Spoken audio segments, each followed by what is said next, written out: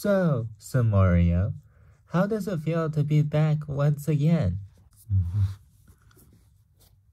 It feels pretty nice, and I like how they changed my name to S'moreo.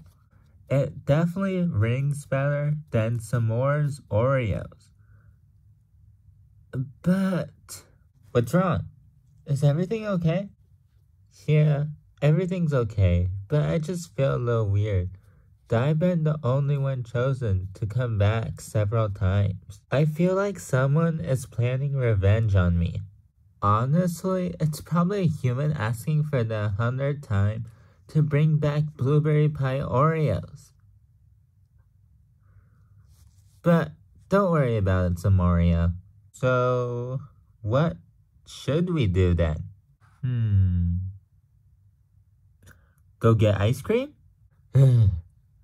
I hate to say this, but ever since I saw that tickling ice cream video on TikTok, looking at ice cream kind of scares me now. That's funny. I showed that TikTok to Oreo the other day and he totally like freaked out. But the real thing is, do you have any ideas?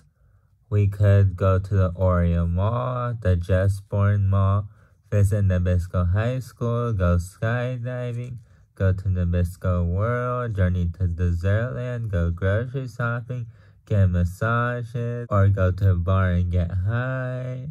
I know where I want to go. Oreo Cemetery. The Oreo what? The Oreo Cemetery.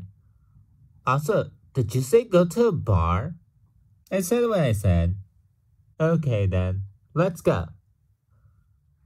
I finally found you, S'moreo. Now, you will pay.